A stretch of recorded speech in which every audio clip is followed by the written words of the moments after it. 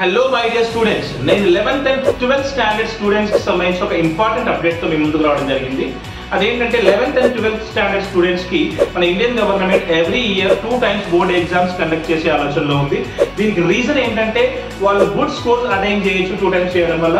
Next number two ఏంటంటే వాళ్ళలో stress కూడా తగ్గించవచ్చండి.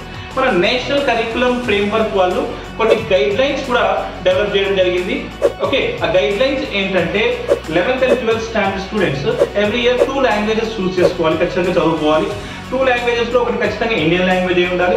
సెకండ్ లాంగ్వేజ్ మీ చాయిస్ ఫారెన్ లాంగ్వేజ్ అయినా ఉండొచ్చు ఇండియన్ లాంగ్వేజ్ అయినా అయి ఉండొచ్చు.